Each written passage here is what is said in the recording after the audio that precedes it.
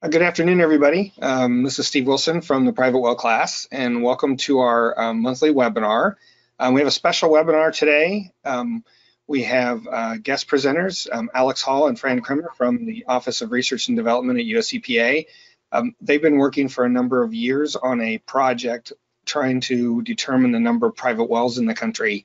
it's something that, boy, honestly, I met one of your colleagues, I think in 2015 at the um, groundwater protection council meeting where he presented and that's how i found out about this. But it's uh you know it's really changed the amount of uh, private wells that we realize are around the country which some of us thought but no one could really uh, show or prove and today we're going to learn all about that. Um, so a couple of things for uh, homework real quick. Um, uh, today's webinar is um, still part of our series of our program with RCAP and again that's funded through US EPA um, like our other webinars, we are recording this webinar and uh, it'll be available in a few days um, on our YouTube channel or in our uh, video section of our website. And um, if you have questions today, um, I'm sure a number of you that are on the call today weren't quite sure what today's presentation was going to end up being about, and you're going to learn a lot about uh, some new stuff they've done. Um, so if you have questions, um, put them in the chat box or the question box and uh, Katie Buckley, who's also with us today um, from our team, uh, is monitoring those and we'll put all of that together uh, in a file that I can share at the end. And we'll pull those up on the screen after we get through the questions that you all asked in advance, and uh, we'll answer them at the end of the webinar. If, if you are a um, EHP or sanitarian, um, this is worth one hour of credit through NEHA and for Illinois LEHP credit. And the webinar today is going to probably be closer to an hour and a half, but it's worth one hour of credit. Um, you can see in the handouts page, there's a certificate of completion, and then there's an agenda, which I know some of you need. Um, when you put your forms together, as usual, send those to uh, info at privatewellclass.org, and um, yeah, we'll um, we'll help you get that all set up. Um, we've had some issues. I'll just mention it here. Not that, I mean, you all are on the webinar, so you're not going to uh, uh, need to worry about this, but um, anyone who watches the webinars that are recorded, um, you can't get credit for watching the recording. You need to be attending live. And uh, that's so that we can track, you know, GoToWebinar has a bunch of cool features that allow us to see if you're paying attention and uh, how long you're actually on the webinar. And so uh, that's the only way we can verify that you're really here. And so, uh, yeah, make sure that if you have other folks that are interested in this afterward and you share it with them, they won't be able to get CE credit, but it's still uh, probably very worthwhile for them to uh, participate. So um, with that, we're going to change over the screen here. I'm going to make Alex Hall the presenter. And um, I want to introduce both Alex and Fran real quickly, real quick. Um, Okay. So um, for uh, as far as a bio, um, Alex Hall is a ge geographer in the Office of Research and Development at the Center for Environmental Solutions and Emergency Response. He's responsible for the data analytics and the development of geographic information system tools and addressing source contaminants and, and impacts on water quality. His work has included the development of a national database and web mapping application for storage tanks and private domestic wells, and the development of tools to prevent contamination of source waters to protect public and private water supplies, which is what we're going to hear about today. Um, Fran Kremer serves as a, a, senior scientist in the Office of Research and Development Center for Environmental Solutions and Emergency Response. Fran works with uh, agency program offices, regions, and states, and public-private partnerships to further research and its implementation in managing contaminant sources to protect water resources. Fran's been uh, instrumental in uh, providing uh, us with up-to-date information, and we've been following their work. And Alex, uh, all yours. Great. Thanks, Steve. Appreciate it. Um, I don't know, Fran, do you want to take it away and we can kind of go over the, go over the overview and uh, we'll start? Okay, that sounds good. Um, well, good afternoon or good morning, uh, depending where you're at. Um, thanks uh, to Steve and, and folks there associated with the WELL class and uh, RCAP2 for all your efforts and the invitation for today. Um, we certainly appreciate the energy and the support you bring to this issue and, and, and particularly the, the community you, you've built around this, which is, is important on many, in many ways. Um, so in the next slide here, we'll just give you an overview of um, what we're going to cover here today. Um, so at the top, we'll go through uh, description of the methods uh, that we've developed in really getting a good current snapshot of the private domestic wells by census block in the country. Um, and then associated with this, uh, there's an application that uh, Alex will, will demonstrate to you too that is um, uh, publicly available. And so you can use this um, as is or download the data. Um, and he'll walk you through the application. Um, important as well then is then how do we take that data and how do we understand uh, what our contaminant sources and how do we put that in context with where our wells are and the radius of influence to those wells. Um, so we're going to cover a range of contaminant sources, uh, being underground storage tanks, principally focused on gas stations, which are a, a significant source of concern for private domestic wells. Um, likewise, septic systems and um, some of the data associated there and what to think about. Um, more broadly, looking at CAFOs um, and as well mining operations, um, uh, particularly the mining and just the landscapes that they cover and the distance that uh, those contaminants can go. And then we'll move into some uh, brief description of our Superfund sites and RCRA facilities and their potential impact, as well as uh, bulk storage facilities, um, especially the above ground storage tanks um, that contain oil and hazardous substances and where they are relative to our private domestic wells. And then last but not least in this category, um, cover some of the issues uh, associated with um, uh, road de-icing. Um, and then lastly, we wanted to also put this in the context of climate change. So given our future and particularly with flooding, both inland and coastal, um, what does this mean with regard to potential impacts on our wells? And so as you'll see, the, the way that this geospatial information is provided, it really gives you a new lens to look at the location of our wells and in the context both of uh, these contaminants of concern and, and climate change. Great, thanks, Fran. Uh, so I'll start off here. And uh, let me start by kind of describing uh, why and how we undertook this effort to estimate private well dens density uh, nationally. Uh, the why is, you know, we didn't have a good understanding on where our well infrastructure was located and uh, concomitantly what potential threats these water supplies may be exposed to, right? Um, to understand the potential exposure, uh, we need to know the geography and proximity of wells to sources of contamination. Now, how did we go about estimating well density? Um, some of you uh, may know that in, in 1990, U.S. Census or, or the uh, the long form census uh, asked, "Where do you get your water supply from? You know, a public or private source." Uh, this was really the last time we had a good understanding of where our wells are located. Uh, well, it's been 30 years. You know, there's been population growth or decline in certain areas, uh, population migration in that time span. So we set out to kind of both update and spatially refine these estimates from the 1990 census. Okay, to do that, uh, we use two methods, and you can see that on the right. Um, one uh, is a st statistical model. Uh, we describe that as the NHU method, and then, uh, well, no, sorry, that was the RW method below. Um, and this method was used to validate, um, is, and this is empirically based.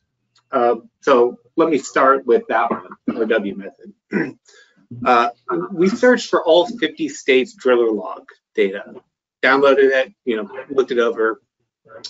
And basically, if a state legally required well permitting uh, before 1990, and the state reported accurate locational information, uh, these records were used uh, in our empirical model.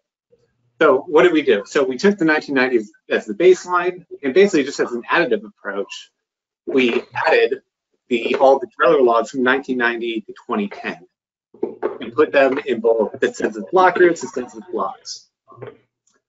Uh, so that's kind of empirically based, right? We know a well is in point X, we know it's in census blocks X, so we just kind of add that up from 1990 to 2010.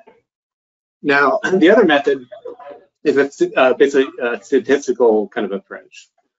Uh, we start with looking at the domestic ratio um, of, of uh, housing units in a census block and census block group. And what's the ratio of people on public versus private water supply? And then we take the 2010 census and we basically, well, we, we start with the assumption that that ratio is going to remain pretty static. Um, and then so we just update based on the number of housing unit change, uh, both decline and uh, addition, uh, from 1990 uh, to 2010. And then we can come up with these new estimates. I should say the RW method, the empirical method, we, we, we were able to do for about 20 states where they had good driller log information um, from 1990 to current. So what did we find with you know combining these methods? Um, well, I guess let me first start with you know how well was our how how well did our assumption perform? The assumption being that the domestic ratio uh, people on, on the ratio of people on wells and public water supply. How did that how did that fare? Was that a good assumption to use in our uh, model? Well, here we can estimate it uh, by comparing our empirical model down here at the bottom and our statistical model on the left. And we can see that many states, there's very close correlation between the two, right?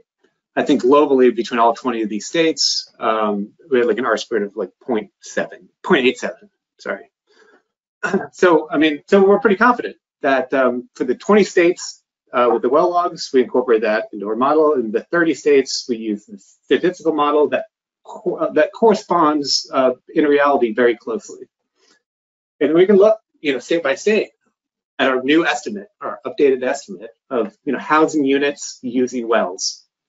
Um, at, coming at number one would be uh, North Carolina, followed by Florida, Michigan.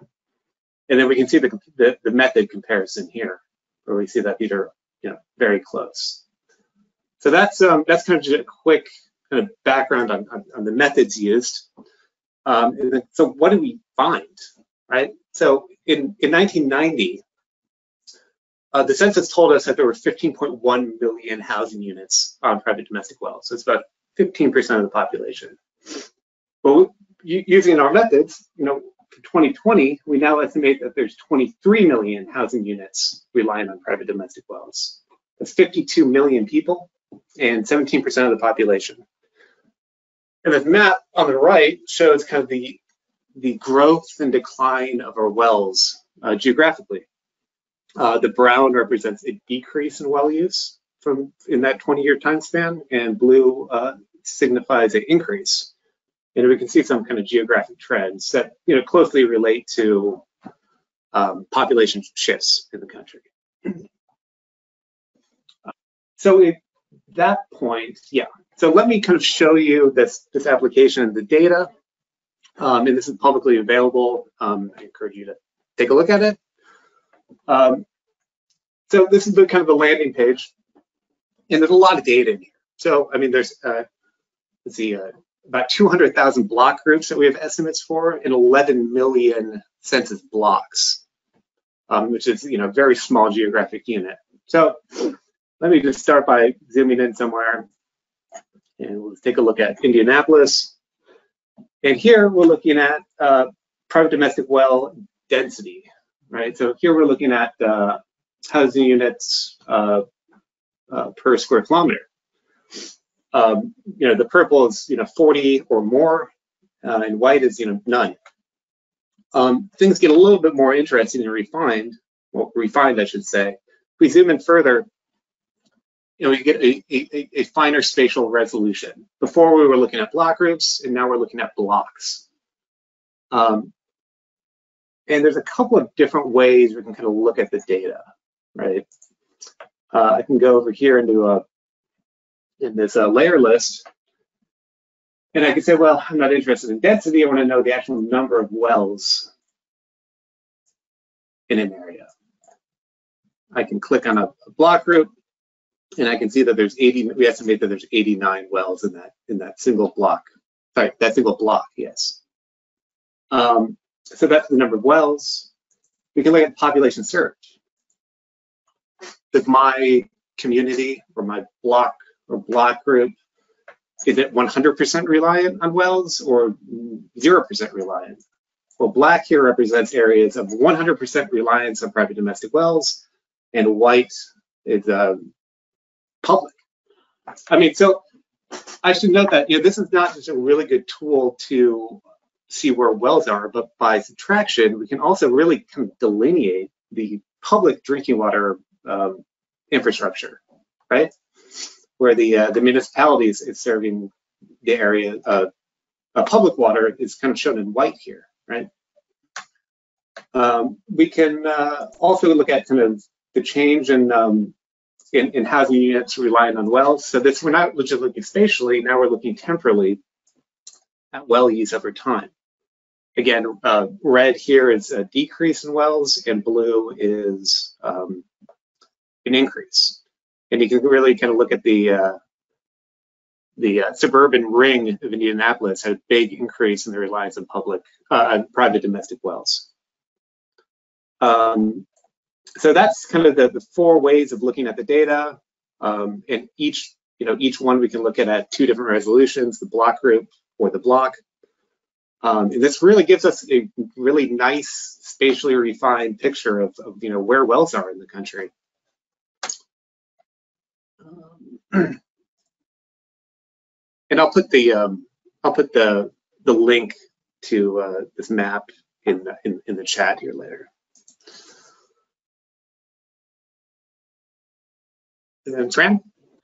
Um, so yes, then what do we think about this data and how do we consider this? Um, so in terms of uh, some of the existing recommendation for uh, private domestic wells, um, CDC has defined um, some of the setback distances uh, to consider um, more broadly, uh, ranging from septic systems to CAFOs and um, uh, leach systems in general, and as well underground storage tanks. Um, when we think about um, the certainly the, the, geology, including not only the, the soil type and the slope, uh, a range of factors, obviously there's a lot of variability in the susceptibility of the, the private domestic wells. Um, we're actually presently working on a groundwater vulnerability model that really incorporates a lot of very specific information to get some better estimates about potential impacts um, to uh, water sources. Um, and as well, uh, many uh, states uh, have a different approach of how they think about uh, sources of contaminants and impact on, on private domestic wells. And probably a, a very uh, poignant one of uh, concern um, and actually a very progressive approach in how they're looking at is, is the state of Texas they actually have uh, a policy in place where once a contaminant plume is identified from a source, um, the owners of those wells um, get notified by the health group within Texas uh, DEQ um, to enable them to make a decision then about the quality of that well. And they are looking at notifications for distances uh, for wells that are at a half a mile from the leading edge of the contaminant plume. And so I think as you look across the country and begin to think about the, the range of options that are being considered at a state and, and also a local level about these distances and notification, um, I mean, these are important things for us to keep our eye on and think about um, that data. Um, in a, a, parallel fashion too, of course, the American Academy of Pediatrics is very focused on nitrates and in particular methemoglobinemia or blue baby syndrome. And so, of course, nitrate is, is a, a major one of concern for infants in, in a household and how we react to um, really responding to those uh, types of conditions. So it's very much a function of the contaminant of concern and, and obviously the distance to the well and how we look at these uh, different sources.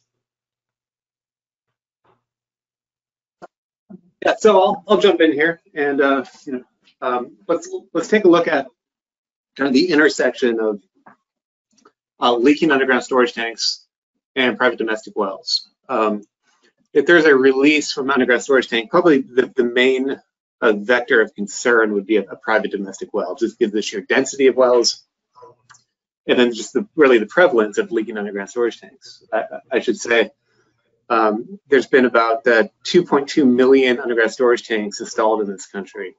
Um, relatedly, uh, there's been about half a million releases from associated with these tanks.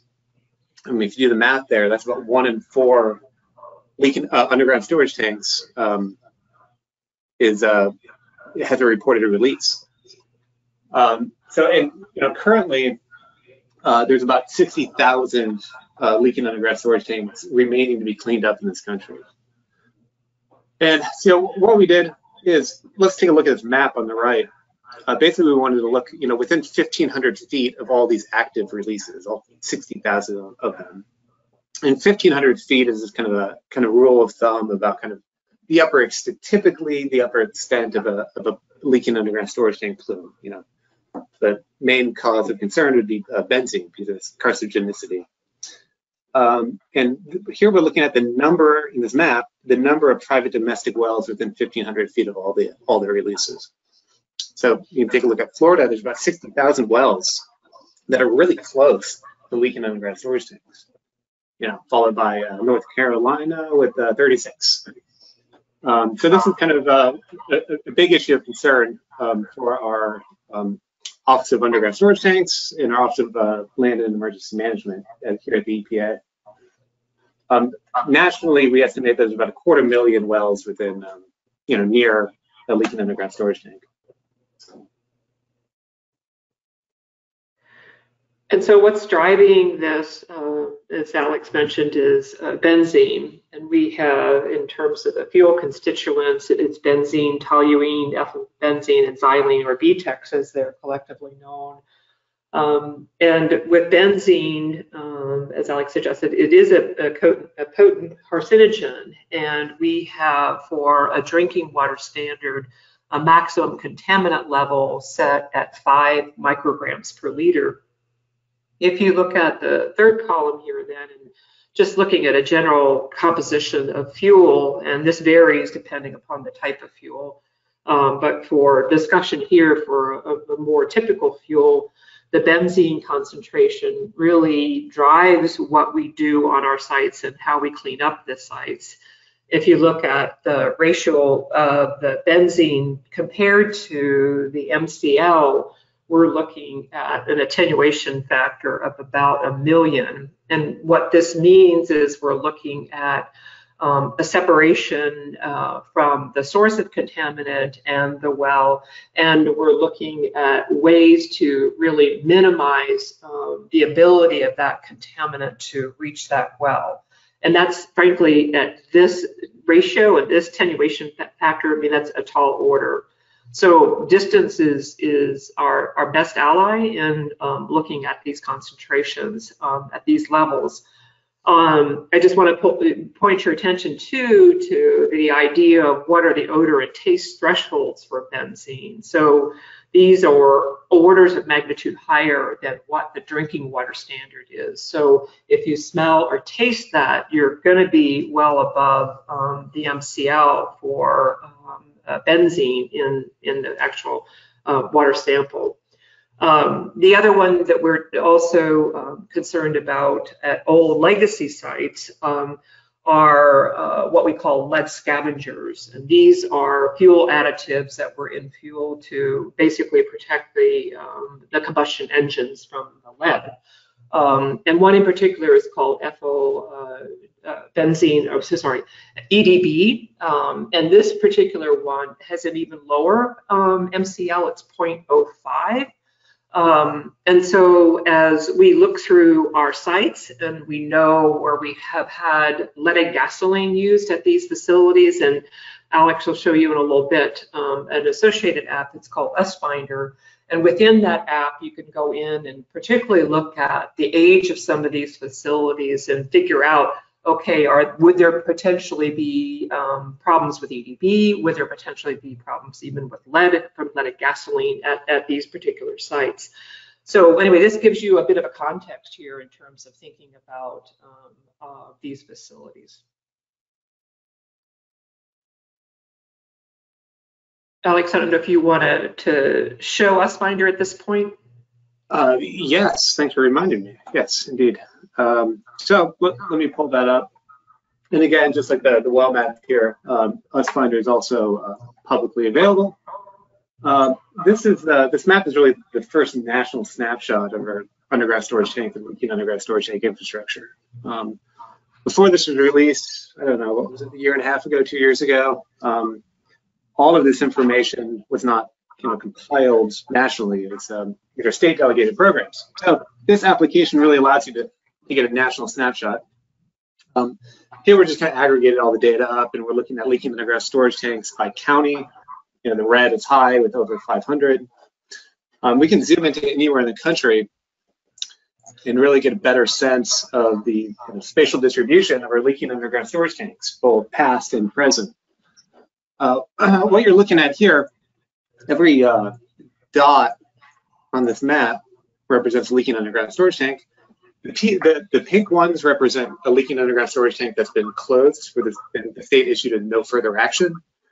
And the uh, the red here are active leaking underground storage tanks. And uh, you can see that, you know, in the Chicago area, there's, uh, you know, not, not many blocks that haven't had a, or do have a leaking underground storage tank. Um, you know, we've got a lot of information in here that we can find out more about the release.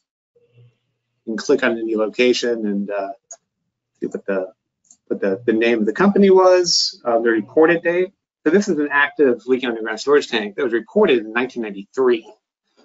Um, so it's been you know many decades that's been sitting active. Um, we get information on, on on you know people who live who live there and um, in some instances the uh, substance release.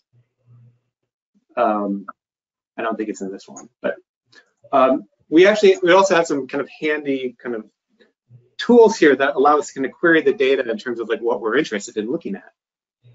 Right, so I'll just zoom out a bit and uh, click this filter button. And so a lot of you are uh, definitely interested in private domestic wells and, and potential contamination to wells. So we've got this tool in here. And what we can do is say, of all the leaking underground storage tanks on, on my screen here, uh, show me show me all the ones that have at least 10 private domestic wells within 1,500 feet. And I can query that. And so now we kind of are highlighting kind of the ex-urban ring of Chicago, where there's definitely private domestic wells. And as we can see, there's uh, leaking underground storage tanks. And, you know, so click a individual point, and here we estimate that there's 17 private domestic wells within uh, within this site. Uh, there's a lot of other tools on here. We can look at um, leaking underground storage tanks that are within a floodplain. You know, this can definitely um, exacerbate the contamination plume. Um, so these are all the, the sites within a 100-year floodplain. Um, and we can also look not just at the private water side, but also the, the, the public uh, drinking water infrastructure. Um, I can I can just click this and I can say, show me all the leaking underground storage tanks that are within a source water protection area, meaning that the that there's a surface water intake for public drinking water consumption. Uh, that that these tanks are the, these leaking underground storage tanks are with, within that source water protection area that it would basically drain into that intake. Um, so that's one side of the coin. The, the other side would be the tanks and facilities themselves. So here are all the underground underground storage tank facilities, and we can do the same type of querying like we did with the uh, the, the, releases. Um, I should say that you know a good number, probably a plurality of our leaking underground storage tanks, they were kind of discovered uh, due to the removal of the underground storage tank which means that you know there was a, a active release um, that you know wasn't you know reported until the tank was removed. So uh, we also want to show you know uh, given that context where our underground storage tank facilities are. Um, and so blue here are uh, facilities with uh, at least one open underground storage tank, and the the pink here are closed uh, facilities with no active underground storage tanks. Um, and again, we've got a lot, a lot, of information in here, but let me show you kind of um, how to look at the individual tanks. So I clicked on the facility, you know, gas station. Um, I can go down here and I can look at the capacities of the here four tanks at the site. So we've got a couple of 10,000 gallon ones and a 12,000 gallon one. Um, and let's get more information about those individual tanks. I can just click, show, show this to me in a, in a table. And as, as Fran mentioned, um, you know, a, a, good kind of uh, indicator of, you know, what, whether there's, uh, that this site contained leaded gasoline would be definitely the installation date and uh, what type of substance. So here are three open tanks. They were installed in 1985, where um, you know lead gas gasoline was still being sold in 1985, and this was um, uh, containing uh, gasoline. And these are very old tanks, and they're still active. Um, so that's you know good information to know. Um, there's a lot of tools in here. Um, a lot of you know a lot of data. It's like uh, 34 million data points in here. Um, encourage people to look at it if you're interested in tanks or wells. Um, and I'll just stop there. Uh, thank you, Alex. And so we spent a bit of time here on the underground storage tank uh, discussion because it is a, a, really critical concern with regard to private domestic well and, and water quality. Um, and I think really the, the effort that we are uh, trying to move towards is red is better communication between our worlds of cleanup and our folks um, who work at the front of public health and who have oversight um, on private domestic wells. Uh, and we see that that communication doesn't always readily occur, and that could be at the national level, the state level, or even down to the local level. So we really are working to bring these um, communities together. And I just mentioned briefly a little bit ago about um, what Texas is doing in terms of providing notification to um, the private domestic well owners. Uh, and in a, a, recent analysis they had done, uh, the notifications that they provided from 2017 to 2020, there was over a thousand notices given to the private domestic well owners, most of those notices were due to um, leaking underground storage tanks. So we know that you know we've got to get our arms around this issue, and we know that we also have to improve this communication uh, amongst these communities, uh, both on the public health side and, the cleanup side as well. Okay, so we're going to shift now into uh, discussion of septic systems, which of course is um, uh, one of concern. Um, at the EPA, um, this is uh, taken on some heightened importance for a lot of reasons. Um, one, uh, in within the infrastructure bill, um, there's certainly going to be appropriations for um, uh, private domestic wells as well as septic systems coming, and I'll uh, speak to that in a little bit uh, later on. But particularly for septic systems, um, and how do we look at this? Um, and equally important, um, similar as Alex described with regard to our private domestic well data, our septic system data at a national level is the, the, the button is back at 1990. So that's the last national data set that we have. So indeed, we're working on um, methods to um, update that data and again, going back and using state data to validate that information. Uh, so septic systems in general, of course, these are very localized conditions that really control the movement of any contaminants from uh, a given system. So where we find the private domestic wells relative to the septic system, and that could be at a given um, uh, uh residence, or it could be in, a, in an area where we find a higher density of private domestic wells and septic systems how we design this is absolutely critical. And, and certainly what we see too is sometimes indeed the, the septic system is designed with the leach field upgraded from the private domestic well. Um, and so, yeah, I think here again, we're dealing with an issue of getting communities to talk with each other to ensure that there's appropriate communication in, in just the initial design on these systems. Um, but ultimately, we're looking at um, a, a, a, way to uh, look at the attenuation of these contaminants and then to begin to think about what is the time and distance from the septic system to the private domestic well to ensure that we're not picking up the contaminants in, in the well. So how we consider that is that design is absolutely critical.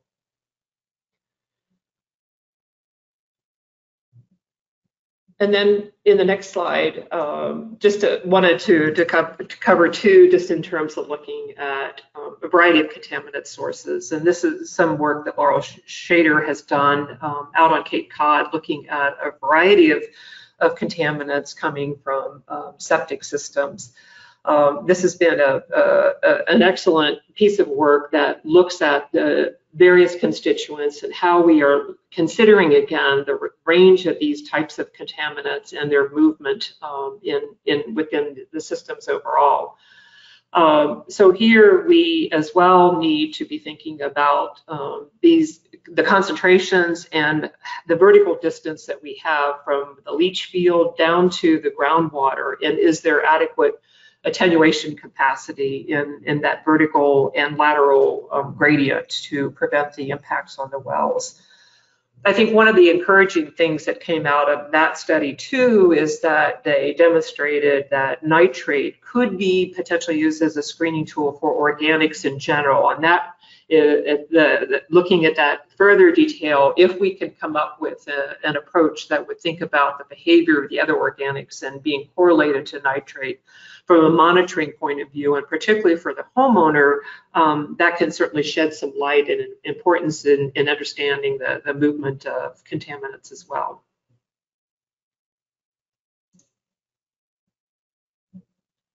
Okay, let me let me jump in here and let's look at the kind of the, the co-location of our septic systems and our private domestic wells. Um, and Fran outlined the, the importance of that uh, previously.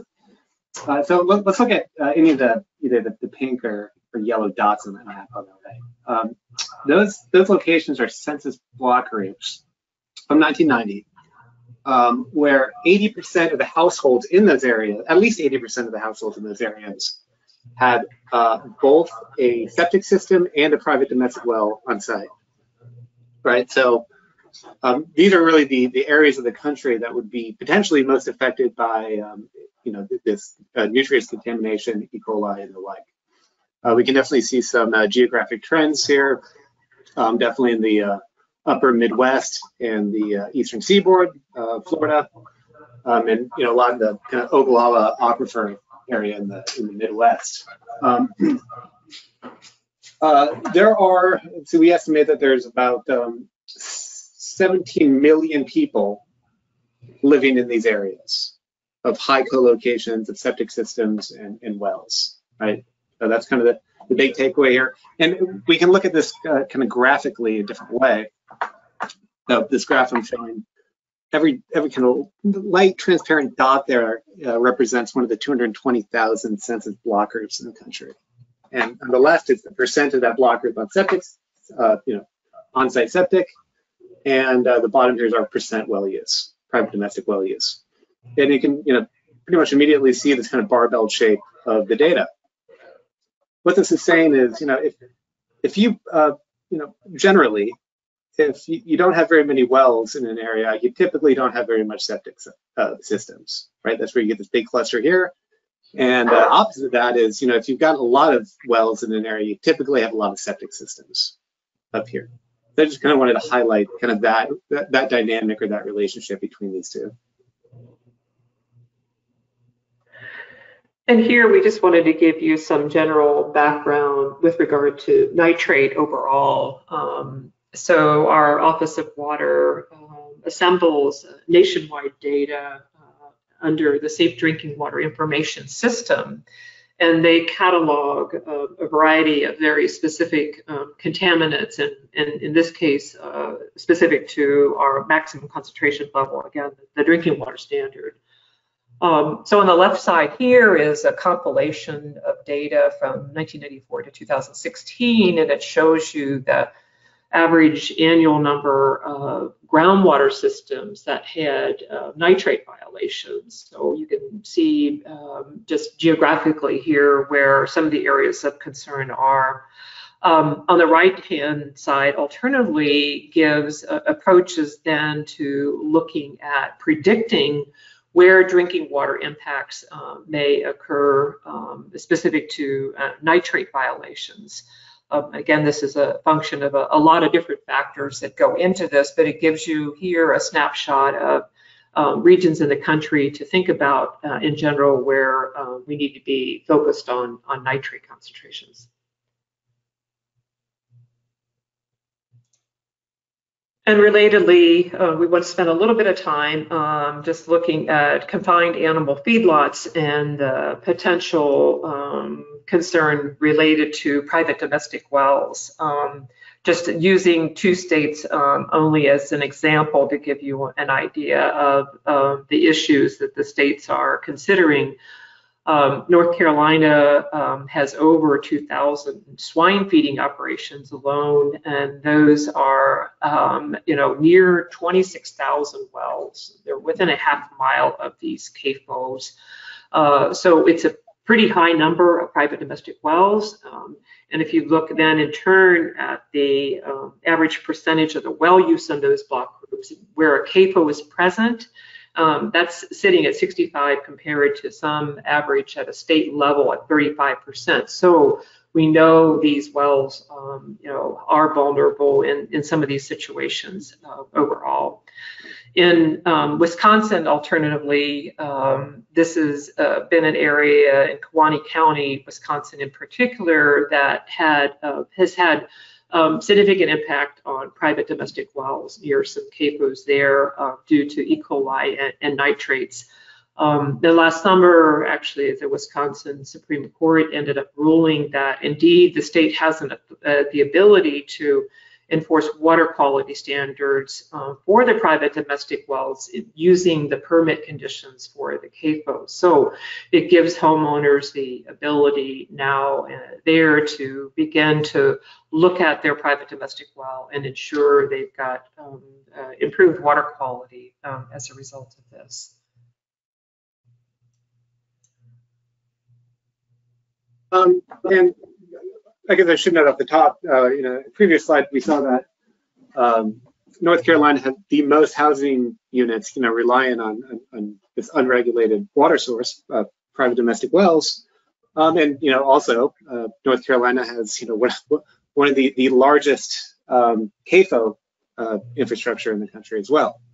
Um, and, and, this isn't surprising, but I, I, I kind of want to drive it home. Um, you know, we have CAFOs in rural areas, right? rural areas, we've got a lot of private wells. And you can just see that by, you know, the darker blue areas more, more wells, and then you can look at the the number of heads at these CAFOs, you know, up to, you know, 280,000 individual uh, uh, swine at, at these um, locations. And, you know, you get to see with your eye that, you know, where there's CAFOs, there's wells. So I just kind of wanted to drive that point home. Okay, so we're going to shift um, here into thinking about hard rock mining in particular. Um, the Government Accounting Office had least released a report um, looking at abandoned hard rock mining um, operations and potential impacts on uh, water quality. We have well over 100,000 of these features, and with over 22,000, um, they know um, pose uh, potentially environmental hazards to public health in, in the environment. Um, and there's an, an, even higher number where really these mines are not even identified. We don't know where they are. Um, so safe to say, yes, particularly out west where these features are found more predominantly, these are concerned for private domestic wells because they provide a very direct conduit um, to the well from the sources of contamination. Um, as well in terms of rural and tribal impacts where there's little public water infrastructure, and they are uh, specifically reliant on uh, private wells. Uh, and a study that was done looking at uranium and arsenic mines in the Navajo Nation showed concentrations exceeding the drinking water standards um, at 13 and 15% of those samples. So that's a fairly high number and particularly of concern for these um, specific contaminants. Um, and what they've also shown here, and because of these preferential pathways and these conduits, um, in fact, they found some of the contamination uh, within six kilometers of the actual source of some of these mines.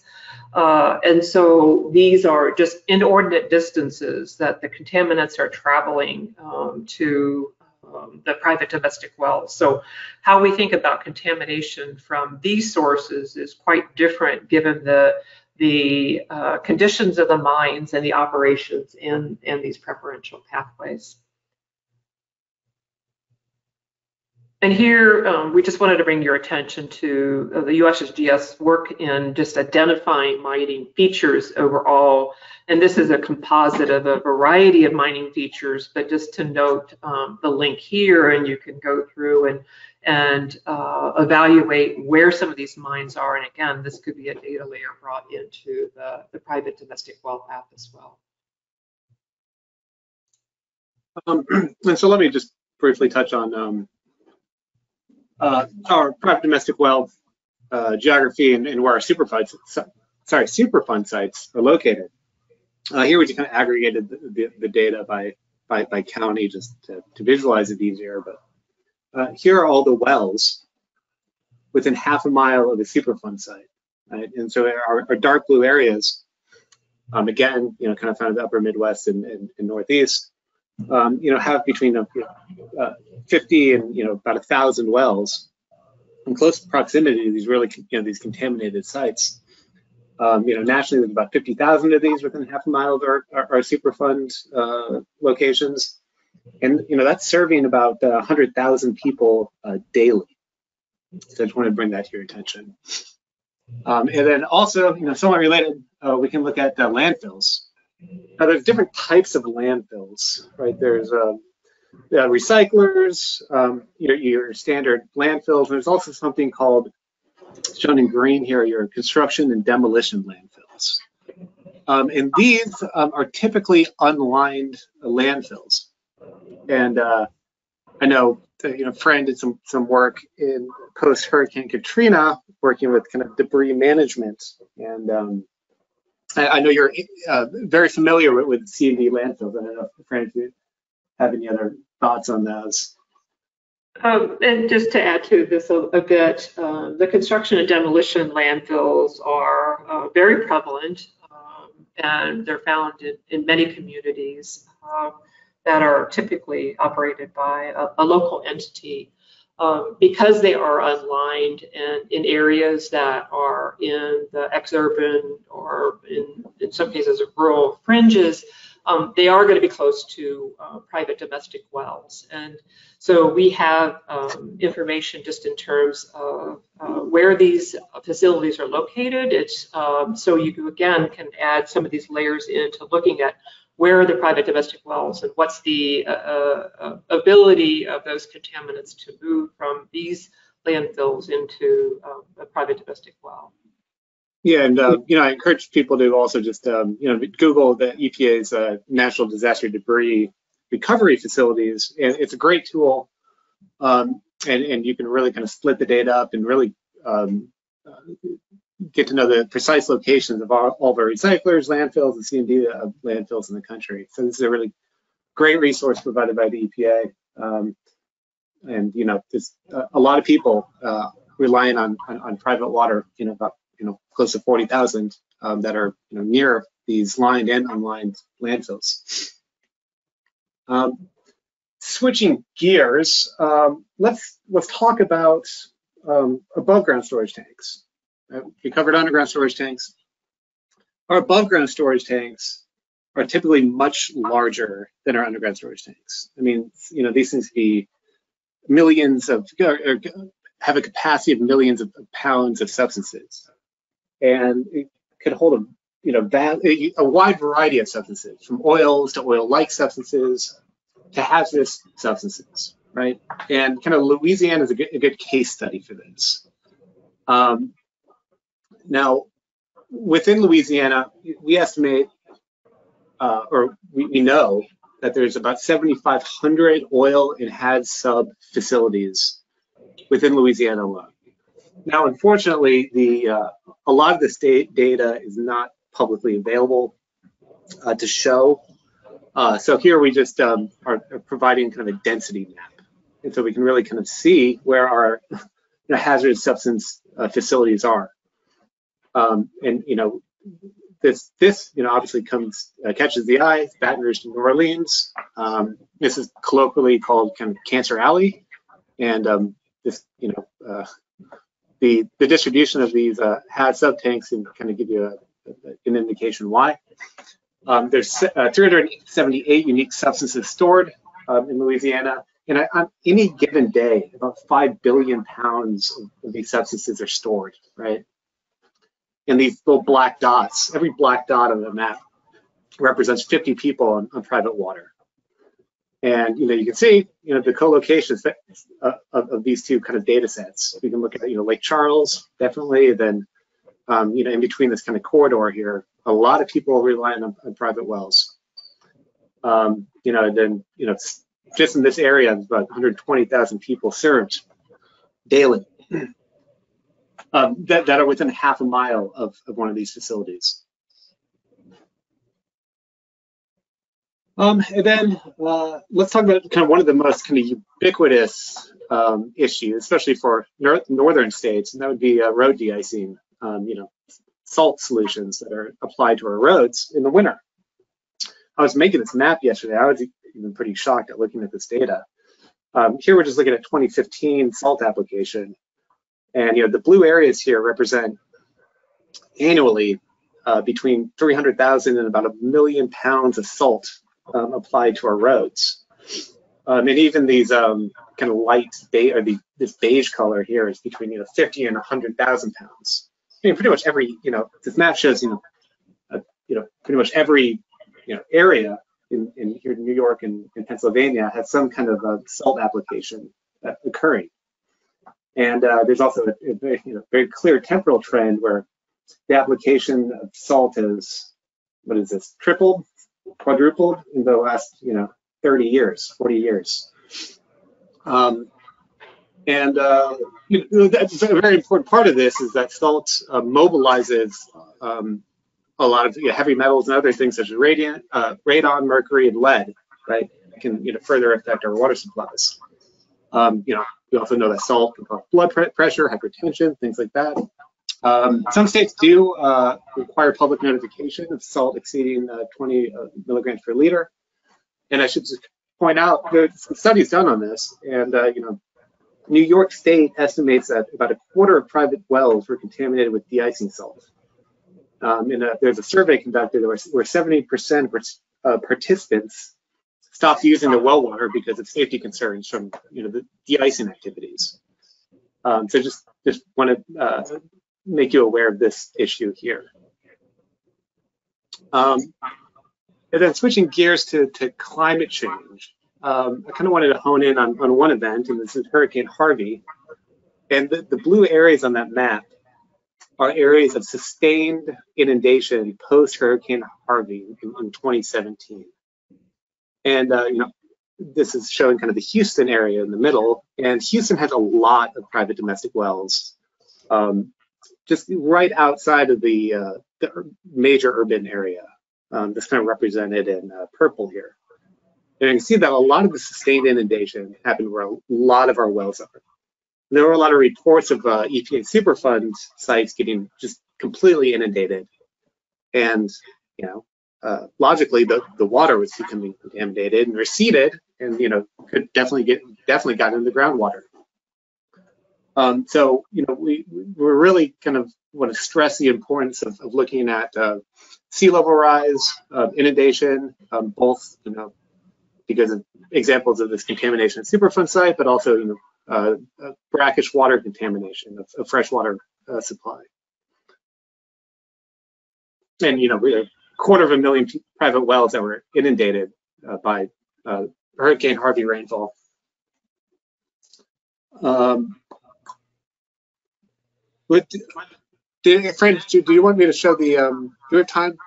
why don't we get through this and see if we have time to show the, um, the inundation data in uh, the well map? Yeah, that'd be good. Well, we're gonna, we'll make it in five minutes. I think we're fine, Okay. yeah. Alright. Okay. Um, but so show it, Um, let, let's get through a couple of more slides here and then let's show the, the application with the climate change impacts. Great. great, great. Running a little bit long isn't a big deal.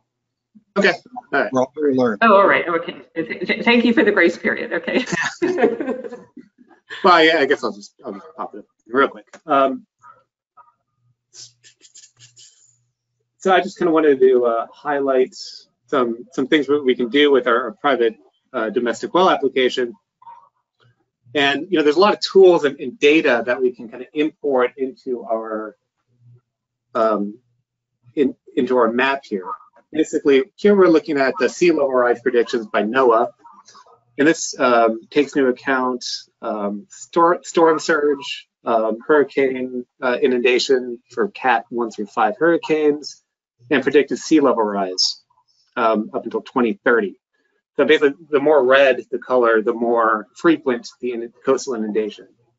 Um, and you know, we can add any type of data um, in using this tool. You know, if we want to look at flooding, we can look at flooding. Um, so I just want to make you aware of that. And I just basically imported this layer into this map. Um, so that's kind of the, you know, we can really look at the, uh, you know, the extent of predicted uh, coastal inundation, you know, especially in Florida here. Not a surprise by anybody.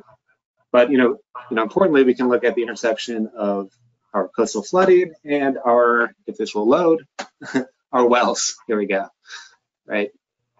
Um, so that's kind of the, the, the coastal layer. Um, oops.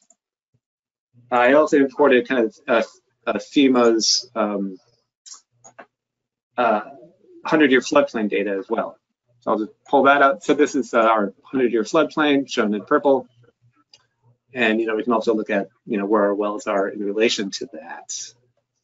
And let me get down to the block level here. So just let making you aware. Um, back to underground storage tanks. Um, and this is more kind of in, in, in relation to the, this climate change piece. Uh, basically, kind of, water is the kind of nemesis of our underground storage tanks, right? a good portion of our underground storage tanks are steel, metallic, that combined with water, uh, you get rust, and then you know a uh, leak, then a, you get a leaking underground storage tank. Uh, here uh, is a map of our all of our underground storage tanks within FEMA's 100-year floodplain by state. Right, so I mean, you get like Pennsylvania with uh, 2,600 just sitting in a floodplain, and most likely just kind of sitting in water. Um, trees, you know, a lot in Texas and, and Florida as well. You know, there's about a quarter of a billion gallons of fuel um, that's kind of sitting in, in FEMA's 100-year floodplain. Um, to just, just cover that. And then looking at um, just the wells and contaminant transport with, uh, in particular, groundwater flooding. And, and this is um, probably more of the, the phantom that we have to deal with. Um, obviously, the surface water um, uh, flooding is very visual, catches a lot of attention, but the groundwater flooding is basically creeps up on us in, in, in many ways. Um, we indeed have um, some tanks that are sitting in the groundwater, um, and some of that is because there aren't many options in some areas of the country to prevent that. Um, but we also know too, in, in certain uh, regions in the country too, that the groundwater is uh, coming in at historic highs. Um, and so on the right here is just an example of Dane County in Wisconsin that shows some of these trends in the, the groundwater table. So um, if we think about these um, higher water tables, and if you consider the range of contaminants of concern that we're thinking about and those sources of contaminants, basically what we're doing in um, having these rising water tables is um, reducing the um, treatment capacity and the areas of attenuation for these contaminants. So uh, particularly here on the left-hand side, the graphic just showing a septic system, if you can envision that groundwater increasing, you're, you're really losing that treatment zone and that capacity to prevent uh, contaminants um, reaching a private domestic well. Likewise for underground storage tanks, the same. If we have surface spills, you know, it's going to take a lot less to get to the groundwater table. Um, and as well, a related issue that we deal with this is um, concerns where it's getting into the groundwater. We need that vertical distance to prevent vapors from getting into homes. So this is very much um, an issue at hand that uh, we need to be focusing on, looking at where the water tables are and really providing the needed protection uh, with the changing climate. And then as Alex mentioned too, just in, in encompassed in what he was looking at sea level rise. Um, so sea level rise absolutely contributes to uh, the groundwater flooding in these coastal environments. Um, and then with this brackish water and impacts potentially on our infrastructure, um, it lends itself to increasing uh, potential for, for leaks. So how we look at these sites. Um, and in fact, we have a significant infrastructure. One of them is the above ground storage tanks that we described are um, uh, significantly impacted in Louisiana, Texas, and New Jersey. We have a high density there, and we have a high density of private domestic wells. So this sea level rise is absolutely something to keep um, an eye on as well. Um, and then lastly here, just very briefly, um, looking at public water supply infrastructure. Um, as many of you probably know in reading about what's coming out of the infrastructure bill, where we will be getting some um, support both for the private domestic wells and septic systems in the infrastructure bill. Uh, and so how we as a community think about um, where to consider um, this infrastructure. Um, certainly the, the areas that we have um, considered uh, before and looking at where, where we have dispersed housing and small towns, you know, the economics um, have been challenging to say the least in some of these situations. Uh, but I think too, it's really working to um, look at these investments in line with the, the potential health, health outcomes um, and how we can really optimize the use of these expenditures in areas where we know we have high concentration of contaminants and or we have a high density of private domestic wells that the economics there um, certainly can shift. Um, and then last but not least, too, just want to call your attention to the last item here is, um, you know, not unlike um, lead in public water systems, um, the private domestic wells uh, also have um, uh, an issue related to this. Um, there was uh, recent work um, that Jackie MacDonald had published looking at um, lead in homes where children, um, and there's a, basically a 25% increase of elevated blood levels for children using water from a private domestic well and compared to those on public water supplies. So this is very much an issue that strikes home with our community and, and, and looking at private domestic wells. Um, and then lastly here, just want to end with um, just, uh, you know, how in terms of water testing, um, these are links here to the state certification programs and laboratories um, uh, across the United States to, to go to in terms of, of getting uh, good standard uh, water quality testing. Um, and lastly here, uh, some additional information to, to reach Alex and myself and uh, some of the information that we provided uh, here. So with a few minutes over here, I'm happy to, to entertain questions and Steve and Katie. Yeah, let me um, change uh, the screen here. Uh, uh, make presenter. And hopefully we're back to my presentation screen. Is that correct? We are there. All right. So, um, you know, as in all of our webinars, a number of folks asked questions when they registered. And so um, we've selected a number of those that um, we're going to answer. And so if you do have other questions, um, and it looks like we have a bunch, oh my. So we already have 15 questions that you've asked today, which is great. Um, I hopefully Alex and, and Fran can stick around and we'll do that as long as everyone will stay, but we'll start right now with um, going through the questions we get. And as I mentioned, um, we won't be able to answer them all. Um, a lot of people signed up over the last few days, but um, we're going to answer, I don't know, eight or 12 or so, I think, today from what you've asked before. So I'm just going to ask the questions and Alex and Fran are going to uh, provide you with answers and we'll go from there. Uh, I'll try to keep my mouth shut.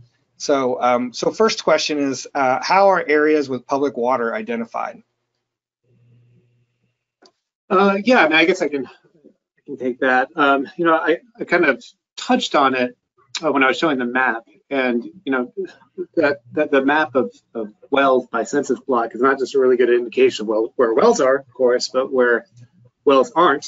And if there's a lot of people living in an area with no private domestic wells, well, we've got ourselves some public uh, public uh, water identified. Right. So I showed that example of uh, Indianapolis and if we look at the, the percent of the population served by uh, private wells, and you know, a lot, a lot of areas were zero. Well, that was, um, you know, in Indianapolis, um, and you could very easily identify the public uh, drinking water kind of extent.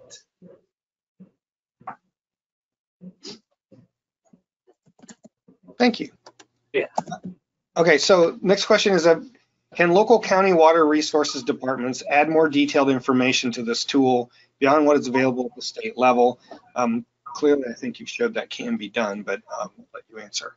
Yeah, definitely. Um, yeah, so when I was showing those um, flood layers, yeah, the, the, top right of the map, you can add data, and you can pull in data that's um, published online. Uh, you can pull in data that's you know on your county or municipality um, uh, a geo platform if you've got a GIS staff, um, or if you've got uh, geospatial layers on your computer, you can also import them in. So really anything can be kind of overlaid with this um, uh, private domestic well data. Um, yep. Yeah. Yeah, I actually just saw yesterday um, RCAP Solutions has used this tool already and, and added some of their own layers to a, a feature set that they're using. It looks pretty cool for Massachusetts. Okay.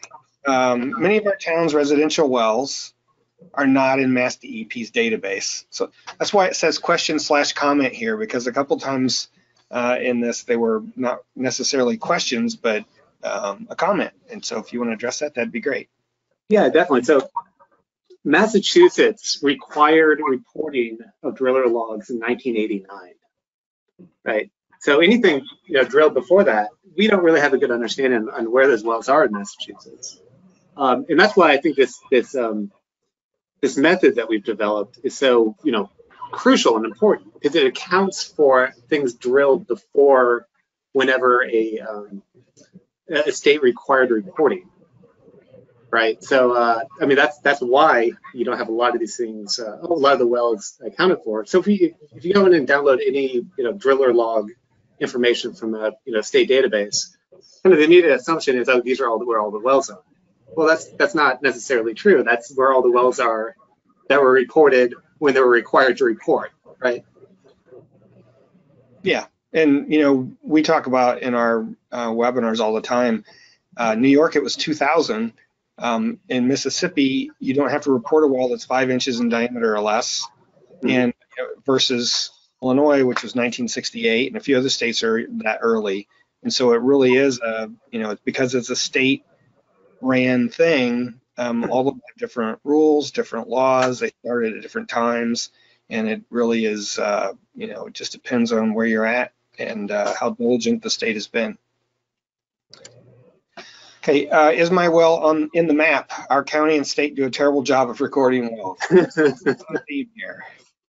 I, I, think the second part of that was more of a comment. Uh, I, I, I, will, I will weigh in, but no, your well's not on the map. Uh, it's it's aggregated into these, you know, what what I described uh, census blocks and census block groups. Census block groups typically have between I don't know like 800 and uh, 3,000 people. Uh, census blocks are much much smaller, much less people.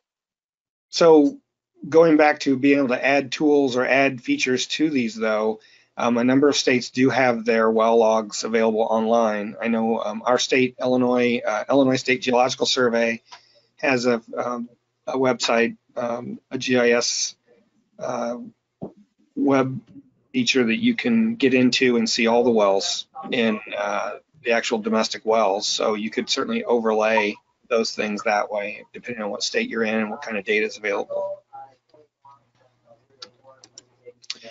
Uh, do you recommend a method to determine permitted well density based on rainfall and geology and what other variables do you work with government to determine and set limitations? And there was more to this. It was kind of a, another comment about government uh, that I didn't feel fit, I didn't feel fit on the uh, slide. So stick to the question. Uh, It, it actually, it's, it, it is a good question.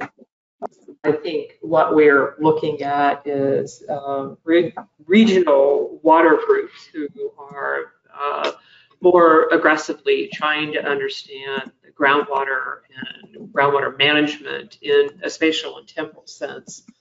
Um, And we see this in different areas of the country, not uh, not across the country uniformly, but yes, depending upon an area. And just a a couple examples, um, certainly the Floridan Aquifer, uh, which covers all of Florida and some parts of Alabama, Georgia, South Carolina, Mississippi, um, they are getting together to really look at um, the groundwater um, in general and considering particularly Florida has uh, multiple water management districts and they're looking at recharge, they're looking at withdrawals, they're looking at a variety of factors to be able to better manage that water. And as you've seen in what we uh, just demonstrated here today, it, it's a good thing they're on that, both in terms of the, the reliance of private domestic wells as well as some of the contaminant sources in Florida to be thinking about that groundwater quality. Um, uh, and then just another um, example too is the Edwards Aquifer. Uh, there too, they're looking at water level monitoring and rainfall and a variety of conditions where um, that's uh, being impacted. So yeah, uh, folks are, are getting on, onto this issue um, and uh, we need to be thinking about this uh, uh, in a, uh, based on an aquifer and the, the demand and also thinking about this in a temporal sense and looking at population growth and how we can sustain those populations with um, the potential drawdown in the aquifer. Great. Okay, have there been studies to determine if nitrites and nitrates from small lot well and septic systems have influence on density? Um, in general, uh, yes, the, the density of the, the septic systems are going to be potentially impacting the private domestic wells. Um, and so that's going to be driven by the location of the septic systems compared to the private domestic well, as well as a range of other factors, including hydraulic connectivity or slope um, that will uh, influence the uh, nitrate and, and also as well E. coli concentrations that may be showing up in, the Yeah, and, and I don't know of any studies, but I do know like um, with all the efforts in Massachusetts on septic systems, you have to, um, there's a lot more of the more advanced treatment going in because they're too close together and they can't actually have septic. So I think there are some efforts to actually uh, that show where density can affect whether or not you can put in a normal septic system or not in those cases anyway. Um, how do you account for the number of unpermitted and undocumented private wells? I think we've already answered this question. I know it in my state, I'm guessing that only 30 to 50% of private wells are registered. Yeah, I think everyone's already talked about that already, so I'm going to move on. Um, do any county health departments still test private wells? Um, and what we see is that's um, dependent upon the local county health department. The answer is yes, there are some, but that's not um, uniform. Um, in particular, is that one slide we presented. There's the certified um, laboratories that you can go to at a state level, but yes, there are um, county level departments. And um, I also just want to mention as well, we actually had um, a citizen science project that we had um, worked on before the pandemic. Um, and this is really designed to work with uh, our regions and the state and local health departments to bring in a class to the local high school to teach them about private domestic wells and to do some uh, screening approaches to looking at some specific contaminants. Um, that's been on pause because of the pandemic, but I think, you know, there are groups as this, and, and one in particular that we came across was a, a county in Oregon that is, the, the local health department is doing something similar they're working with the schools and being able to implement some screening approaches. So if there are some numbers that are high, then they know to go ahead and really get the water tested in a certified laboratory, really to get some definitive answers about the, the water quality. So yes, very much the, the county health departments are on the front line of this issue.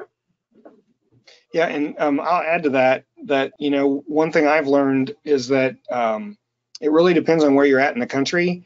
Um, even you know out east in Massachusetts, Connecticut, uh, a lot of those areas, you don't have county health departments. You have local health districts that are based on a, a town. So, for instance, in Illinois, we have uh, 102 counties, and I think we have 86 county health departments where some are joined together because they're not very populated.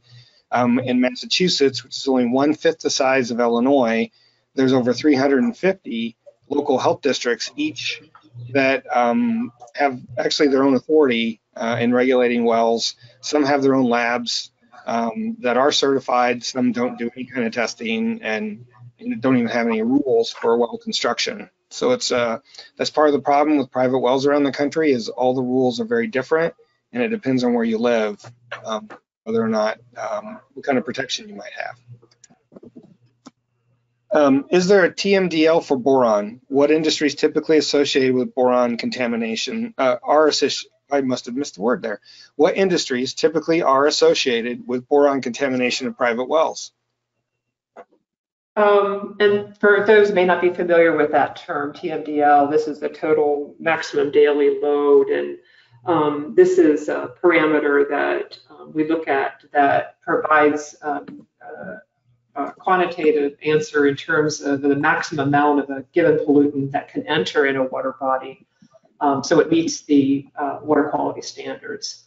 Um, so these are set at the state level. Um, so under the Clean Water Act, each state um, develops these for their waters um, that are impaired, and they identify some priority ranking uh, associated with that. Um, specific to boron, um, of course, then that's going to be dictated by the states. And uh, boron is both naturally occurring as well as anthropogenic. Um, uh, we have areas in western U.S. that have high concentrations of, of boron in the soils. Um, uh, but as well, um, it, it, can come from industrial sources, um, from pesticides or fertilizer production, a, a range of, of, of sources. Um, but what we are also um, looking at too is that the source of this can come from septic systems. Um, and as well, um, these are components in detergents. So um, there's potential that it could arise uh, from a septic system as well. So again, though, at the end of the day, in terms of the TMDL, these are state driven and, uh, um, you know, can ultimately too impact the private domestic well. Okay, thank you. Um, what are the concerns regarding higher sea levels and their effect on aquifers? Um, the sea levels are uh, going to be important uh, on several fronts. Uh, of course, you can um, imagine the uh, sea level rise and impact on uh, just the, the brackish nature of the water uh, is going to be a, a concern in of itself. Um, as well, um, with the sea level rise and uh, just the salt content that lends itself to increasing the potential for corrosion in the infrastructure. And so even um, the materials associated with our private domestic wells, it could be piping that, uh, depending upon the nature of that pipe, um, there may be concerns about uh, impact to the infrastructure from uh, those uh, materials too. And then ultimately, when we have sea level rise, that's also going to change, in many cases, the groundwater level. Um, so with the groundwater flooding and potential increased movement of contaminants from a variety of sources, um, we can certainly have mobilization of those contaminants that we historically may have not seen without sea level rise. So there's a number of reasons to, to be thinking about um, sea level rise in context with private wells. Thank you. Um, what happens with cases when wells are contaminated with too much nitrate? Um, so I think how we would approach this answer is um, indeed how we would think about contaminants in general. Um, however, specific to nitrate, obviously, as we covered a bit ago, in, in 10 milligrams per liter is um, the concern that we have with regard to hemoglobinemia and or blue baby syndrome with infants. So immediately, if you know there's a problem, stop drinking the water. Uh, and contact the local or state health departments to really confirm those results. And as well, there may be other people uh, or, or, homes within proximity that um, may have an issue too. So they'll definitely have um, a, a, heads up there to notify potentially other homeowners that may be impacted. Um, and subsequent to that, obviously the big thing is we got then got to go figure out well what's the source and control that source. Um, where is this coming from? Um, and then you're looking, of course, then at the treatment, and again, that should be coordinated with uh, certainly the state folks and looking at uh, the treatment options and getting a certified contractor in to really um, it, to put together a, a treatment strategy. Um, and then ultimately, it's, it's really about prevention. Um, so why this could occur, you can control that source, but what are you going to do to prevent this from happening again? And uh, again, that comes back to what are the conditions that cause this? You know, is it the slope? Is it the depth? I mean, what are the, the things that you can do to really prevent that um, from happening again? All right. Okay, um, so hang on, don't leave because we have a number of questions and it looks like Alex has been busy trying to answer uh, some of these, which is okay. Um, I'm going to pull them up on our screen here and um, let me move this over and make it full screen, and we'll just start at the top. It says, can you add to the discussion um, potential contamination uh, potential contamination from agriculture. In particular, does aerial spraying pesticides have potential impact on water resources? Um, the aerial spraying um, can have an impact um, depending upon a, a, number of the site-specific conditions, um, you know, where the spraying is occurring relative to a well, what's the, the slope um, uh, that's where the area is again being sprayed relative to the private domestic well, and what distance in, in general are we looking at with regard to the pesticides, and then ultimately is um, the frequency of the spraying and the persistence of a given pesticide and its potential impact um, on the water quality. Yeah, what we usually um, mention too is that uh, it really depends on well construction. You know, if you have uh, the reason you test for coliform and nitrate is because um, they indicate a pathway into your well. If you have elevated nitrate or if you have coliform bacteria, you shouldn't have and that means there's likely a, a, breach in your well or it's not well protected at the surface.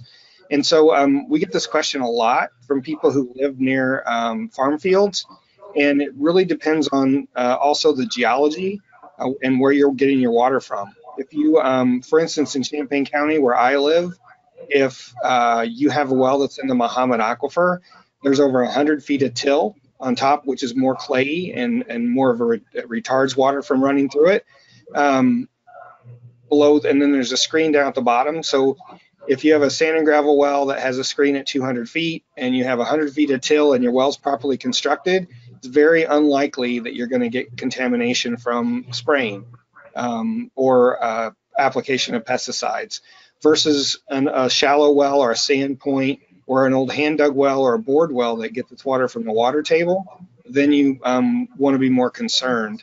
And one of the reasons uh, all those things matter is because sampling for pesticides is really expensive.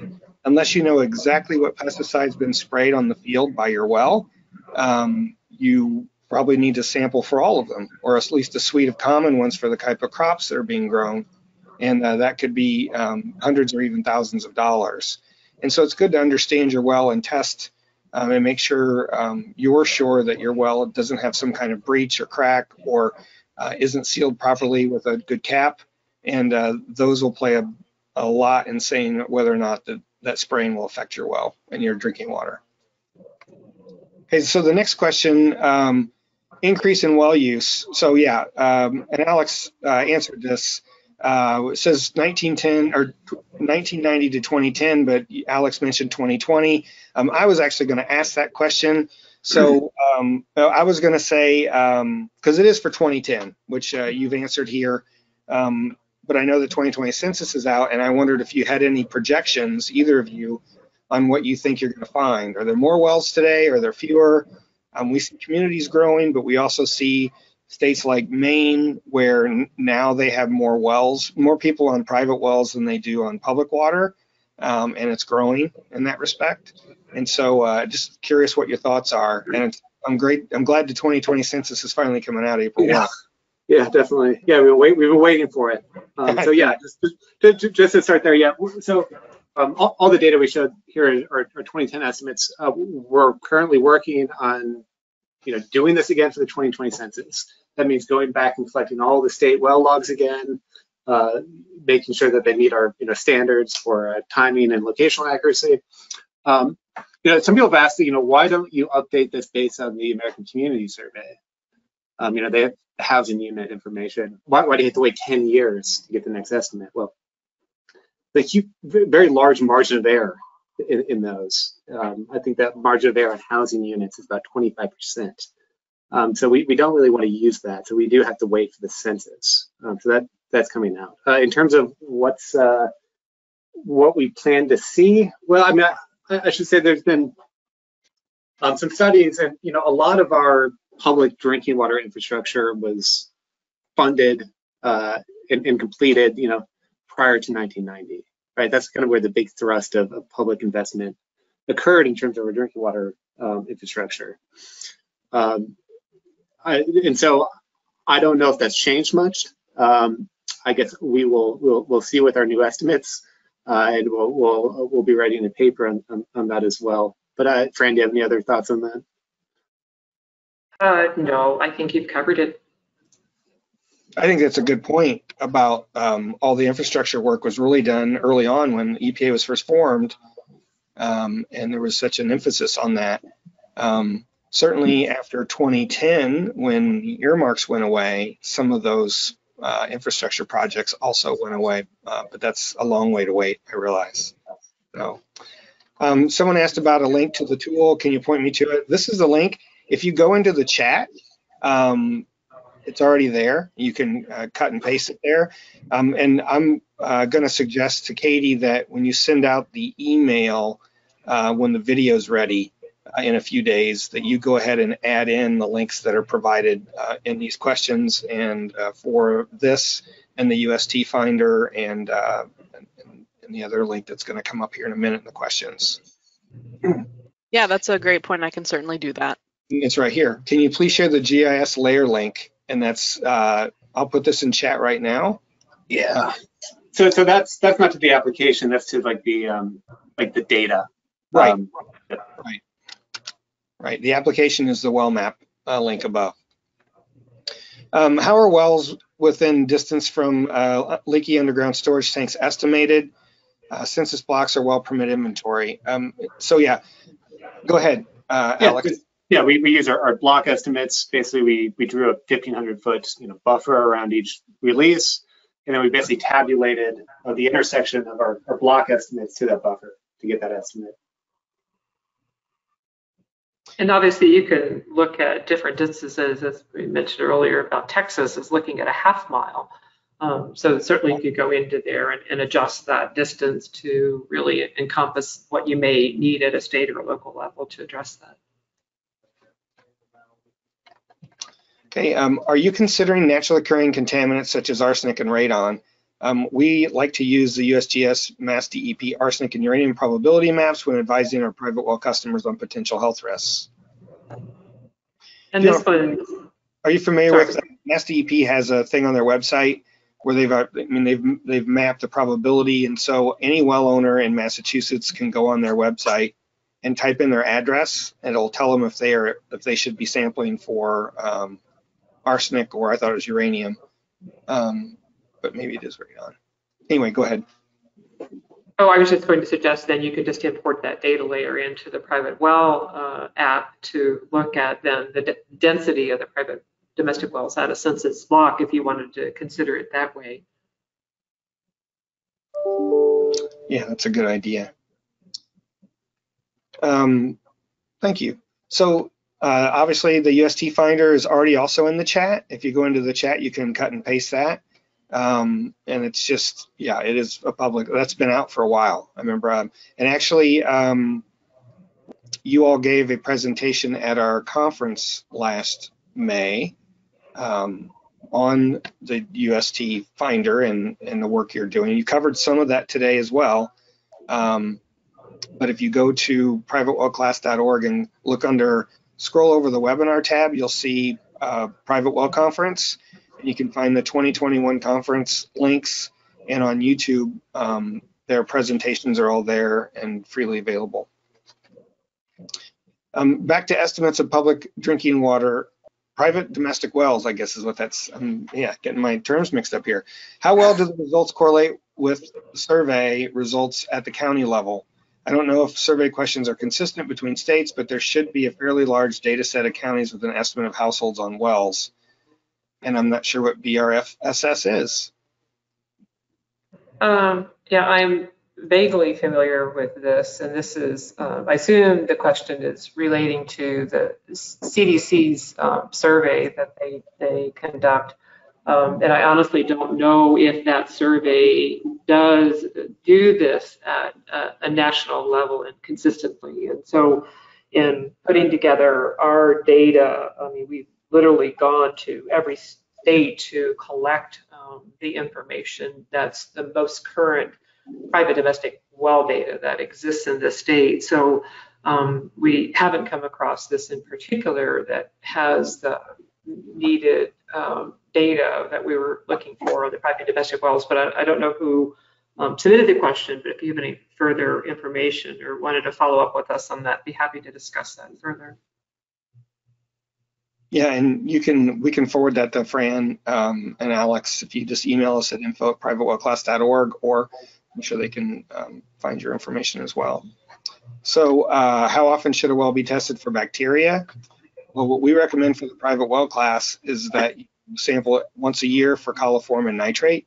Um, again, they indicate a pathway into your well that doesn't mean your well safe from anything else, like arsenic if it's naturally occurring, but it indicates that you may have uh, some superficial uh, breach in your well, whether that be your well cap or uh, something else.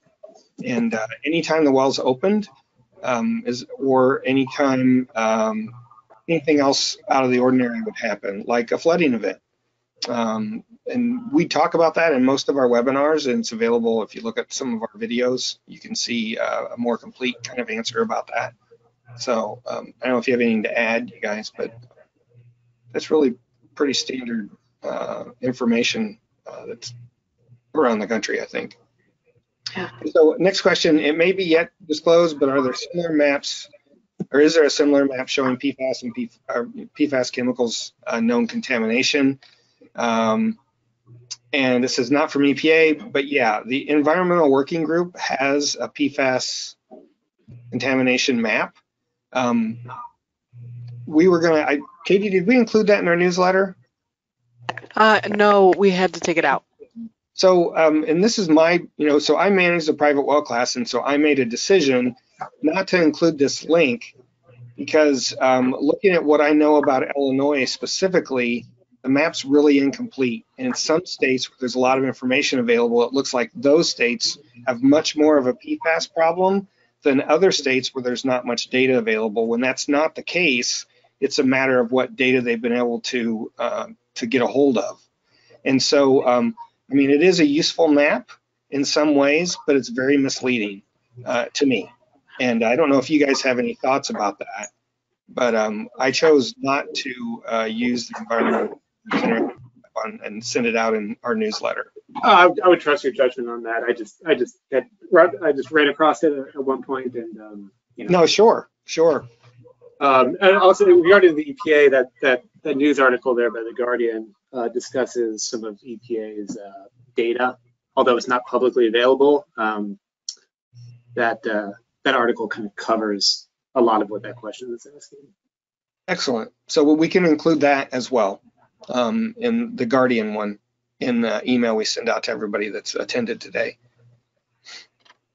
Okay, what does CAFO stand for? Uh, Confined Animal Feeding Operation. Yeah, so um, I- just for the record, I grew up on a hog farm, but it was not confined uh, livestock back in the old days where we had everything on pasture. I, I wish I did this well in my, my college courses. I, I, I feel like I'm getting these right. Well, yeah, hopefully, yeah, yeah. Um, so yeah, the link to the mapping site did not work for me. I think, yeah, um, I think what your comment there, Google Chrome works the best.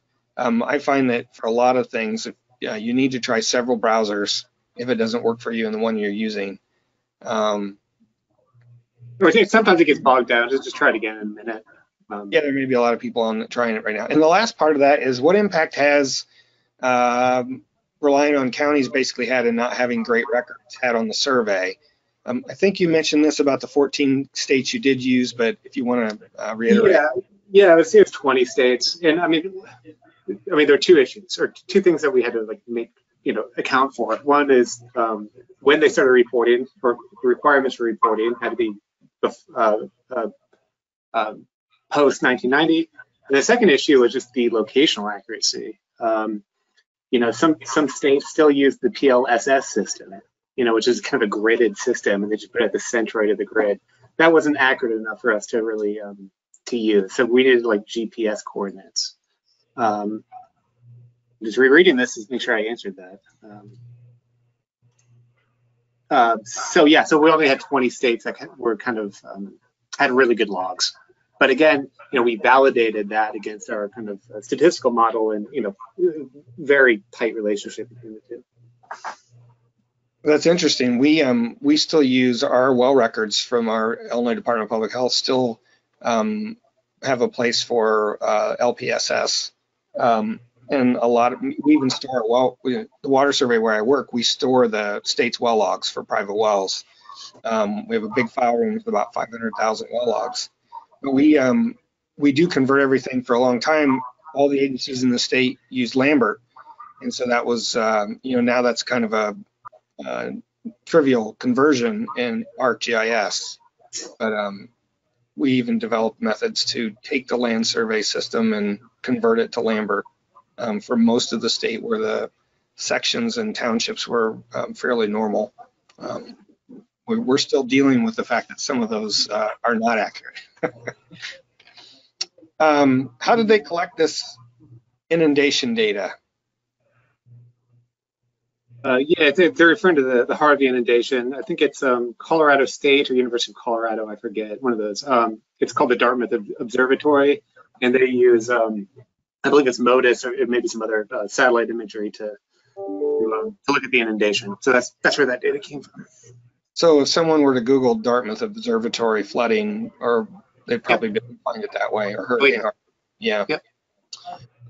Okay, do you make these layers public in the ArcGIS online platform, as in looking them up in Living Atlas? Um, yeah, Yeah, so that's more of a um, uh, somebody who knows GIS. So yeah, um, basically uh, you can pull these layers in from a like an Esri repository. So if you're like in ArcGIS, yeah, you can search for these layers and they're basically just sitting on the cloud, and you can pull them into really any um, pull them into your own maps. So yeah, just uh, if you're on the um, online Esri's online geo platform, just search private domestic wells or UST Finder and you'll find them.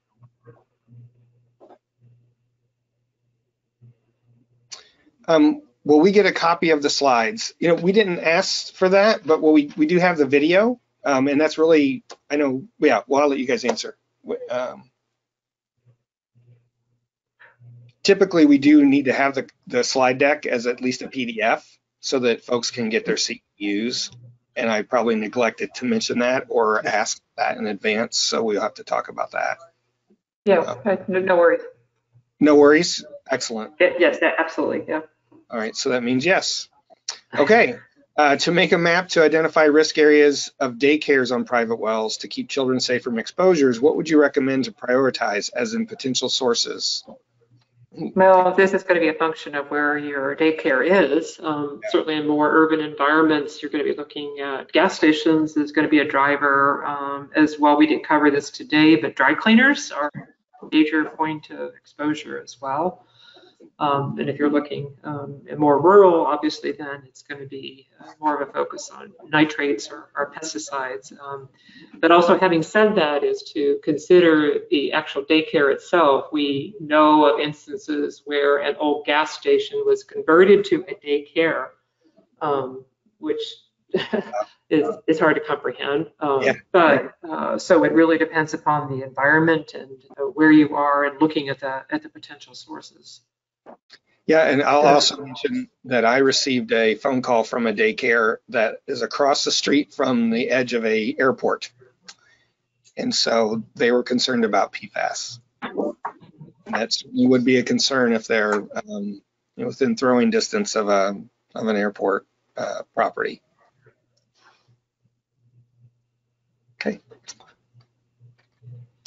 Um, I'm looking for containment systems and other BMPs that can be that can help mitigate threats to water from above ground storage tanks. Ideally, I would like to require these to be used in industries, businesses as part of our unified development ordinance.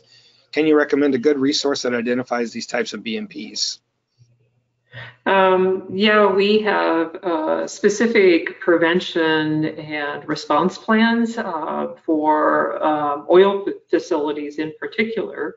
Um, and whoever the requester is here, I'd be happy to, to communicate with you and send along the information there, particularly on the prevention side. Um, on uh, hazardous substances, um, this is an area where we have not had a regulation, um, and this is pertinent to the Clean Water Act hazardous substances. So if that is something you're interested in, actually the agency is going to be publishing this month in the Federal Register um, approaches to management of these um, large storage facilities for Clean Water Act hazardous substances. So there will also be some um, components in there that would address this, but whoever the requester is here, be happy to send you information with regard to the um, ways to, to mitigate these threats um, for oil. Okay, uh, the next question is, could you share the drinking water lab link? Yeah, I can look that up in a second and throw it in the chat, and we can also include it in the um, in the email again. Um, we've shown that link a number of times in our webinars if you've attended in the past, but um, yeah, um, it's on EPA's webpage. Um, or if one of you have that link, uh, Yeah, I'll pop it in there. Just, just one pop that in the chat and we'll make sure it gets in uh, the email that goes out with the video. Um, Are there any maps available that show PFAS, PFOA, PFOS uh, contamination levels in Michigan? I think that's already been answered. Um, Yeah. So uh, that's what we have for today. I really appreciate your time and staying uh, with us. Um, For all, most of you who are still on here, as well as um, Alex and Fran, thank you so much. Um, uh, yeah, there's a lot here for us to uh, to take in, and it's all uh, really useful. You covered a lot more topics than I realized you were even going to, related to all the different potential sources and data that's available for those things. So, um, if you have any other questions uh, for Alex or Fran, you can email us at info@privatewellclass.org, and we'll make sure they get those. Um, as far as your CEs and those things, um, same. Uh, email us at info@privatewellclass and we'll work with you to get those forms filled out. So um, if there are no other questions, um, when I sign off, it actually kills our link. So I'm going to lose you, Alex and Fran. Um, so thank you very much. And uh, I really appreciate your time and look forward to um, our conference in May, our private well conference. Um, we will be uh, uh, we'll be speaking, at least I think you're going to be speaking there. Um, Yes. On on some of these issues. I'm, I'm sure you'll have the 2020 data done by then. So I'll, I'll do, I'll do it for you, Steve. No problem. Because, because you asked. just so everybody knows that was a joke. oh my! All right. Hey, thank you. Uh, thank you both. I really appreciate you uh, participating today and and sharing what you've uh, learned with all of us. All right, take care. Thank you as well, and certainly welcome any additional comments or feedback from folks. I appreciate it. All right, take care. Bye.